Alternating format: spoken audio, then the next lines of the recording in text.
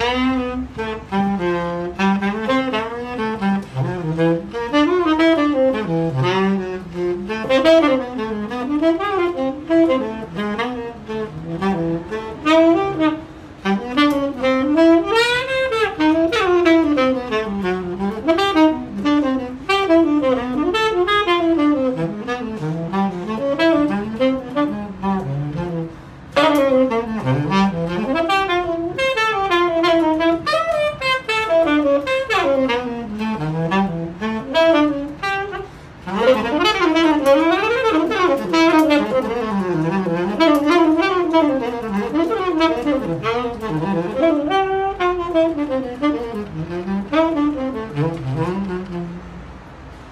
Hey guys, just got back from Miami. That was a little clip that I took from uh, outside my hotel room balcony. I was staying at the Fontainebleau, which uh, I guess used to be Frank Sinatra's favorite hotel. So just played a little bit of Fly Me to the Moon just for fun out there.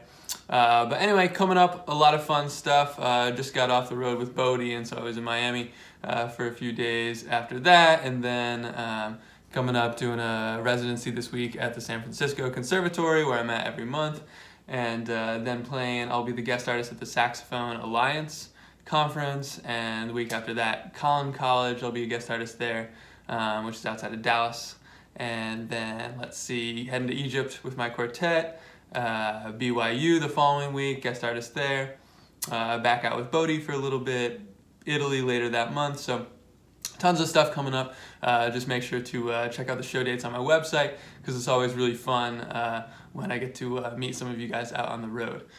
Uh, but anyway, today I just wanted to talk about the bottom line uh, to learning jazz standards. And look, the bottom line, it's really simple um, what holds people up the most when they're trying to memorize jazz standards and when they're trying to retain the jazz standards that they memorize.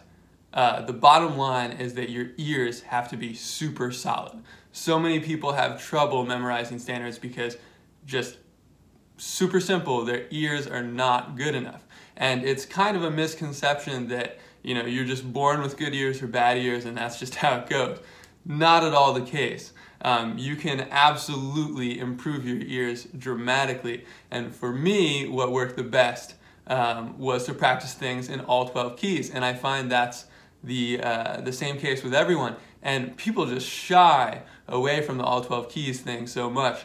And, um, you know, as I mentioned in my last video, I don't teach anymore outside of San Francisco Conservatory. But when I was teaching a lot on Skype, and even with the students that I do have now through San Francisco, when they learn stuff in all 12 keys, it's just something magical happens. Uh, I, I don't really know how to explain it. If I were to take a guess, it would be that when you learn something in all 12 keys, you're just getting 12 more repetitions of it. Um, but also, something magical happens when you learn things through uh, different tonalities. Um, it's just, you know, vibrating through your body in different, you know, areas. Uh, so I, I think it's just, it's just the most important thing to do. And, and you know, people just shy away from it so much.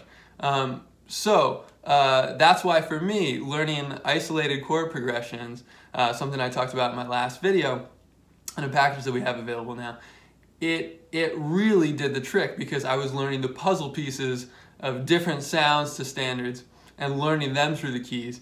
Then that's when I got to the point where I could just memorize standards practically instantly.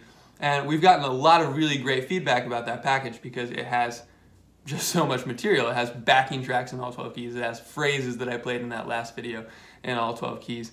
And, uh, and chord progressions written out for you in all 12 keys, so it makes it way easier.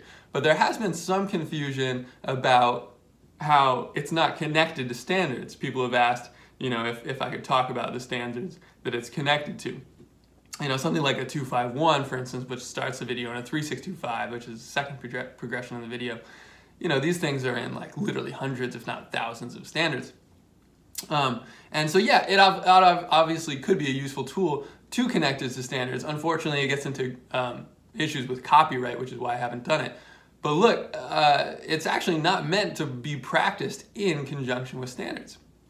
When you have isolated chord progressions that you're practicing, little four bar pieces, these puzzle pieces, you're just meant to practice this and get the harmony in your ears. Just focus on that. Get it through the keys. Get that harmony through your ears. Then, when you do that, with 40 different isolated chord progressions. That is so much content in there. Then, then you go back to learning standards. And instead of trying to learn a standard and it taking you weeks and weeks, and then you just forgetting it a few weeks after you've learned it, it's a really frustrating process. Instead of that happening, once your ears have improved dramatically by going through this process, then you're going to be able to learn standards practically instantly. So, um, I hope that uh, for anyone who is confused about that, I hope that helps to clear some things up. It's a process that is hard, it's difficult, it's not easy, and so a lot of people shy away from this whole thing. But if you just go at this weakness and, and just make your ears better through, frankly, a, a more fun way of doing ear training because it's not like you're just like sitting in the corner of a room while you have a friend playing random chords or something and you try to identify them. Oof, that's a really slow process. This is much more fun because you're playing through the whole thing. Um, so for me, this is what worked best. I'm just speaking from personal experience here. I really truly believe it is the best way to go about improving your ears so you can memorize standards faster.